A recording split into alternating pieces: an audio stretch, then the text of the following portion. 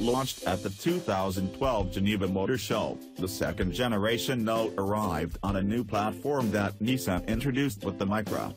Although slightly longer and wider than its predecessor, the new Note had a significantly lower roof, trading the former MPV-style looks for a more standard hatchback layout.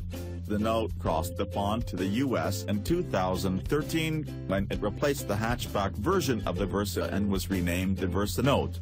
The North American model also sports the biggest engine available with the nameplate globally, a 1.6-liter four-cylinder.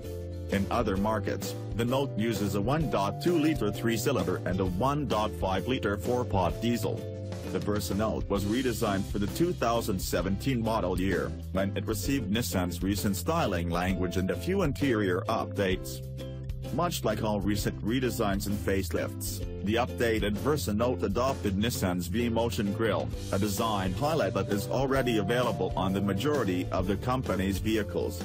In the US, the Versa and the Versa Note were the last models to not feature the grille. Thanks to the new V-Motion element, the Versa Note bears a closer family resemblance to the larger Nissan Sentra, Altima, and Maxima, while also boasting a sportier design that's more in line with recently updated competitors such as the Honda Fit, Chevrolet Sonic, and Ford Fiesta. Versa Note and Versa Sedan combined to be America's best-selling nameplate in the entry-level segment, said Michael Bunce, Vice President of Product Planning. The enhancements for the new model year give Versa Note a fresh new look, which should help keep the Versa pair in the number one position again in 2017.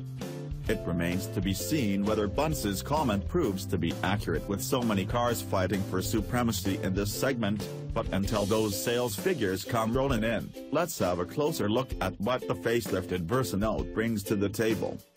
Continue reading to learn more about the 2017 Nissan Versa Note. The note.